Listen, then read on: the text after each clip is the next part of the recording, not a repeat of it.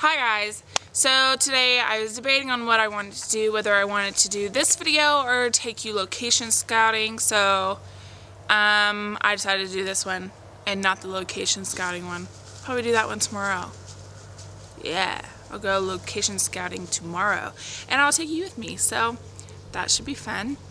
Um, today my video is what I do after a photo shoot. The first step after a photo shoot is I pray my cord works. Should I invest in a card transfer thingamajigger? Yes, I should. But when the time comes around, I always forget that I want one and that I need one, so I never get one. So, I pray my cord works. So, if my cord does work and my pictures are put onto my camera, I import them into Lightroom 4.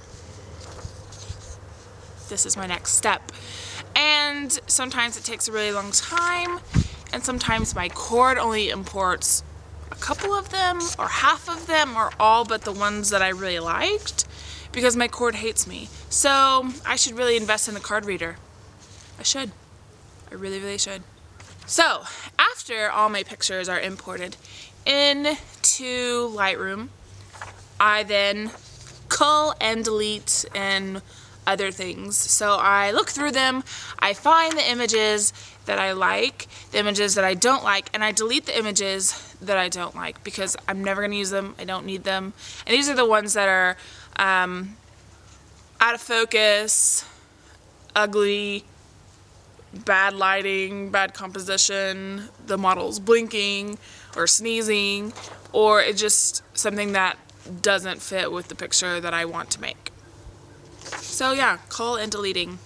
So after culling and deleting and hoping my cord works and importing all the pictures, I transfer over to Photoshop CS5.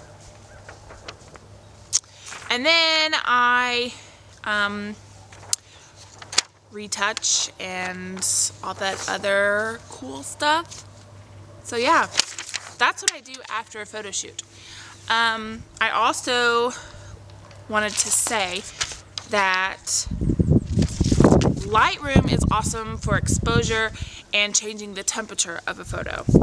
But the rest I always do in Photoshop because Photoshop is the bomb. But Lightroom is, for me personally, I feel like the exposure and the temperature changing is leagues beyond Photoshop. Like if they could just put those two features into Photoshop, that would be great. So yeah, that's what I do after a photo shoot. And then, oh yeah, and I usually take a big nap because I'm usually worn out. So I take a nap and then pray my cord works. Or I pray, take a nap, pray some more, hope my cord works. Yeah. So yeah, tomorrow I will see you again and we will go on location scouting. They said it was going to snow today, but it hasn't yet. I think it rained.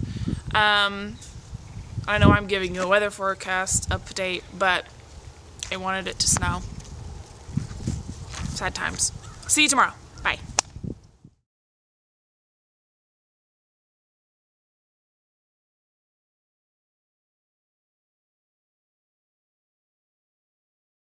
Is the red button on? No. Yeah. Go inside. Let me see what you're gonna do. Let me see how bad it looks. Let, let Go in. Let me see. Go inside. Hold hold up one of them. Let me read it.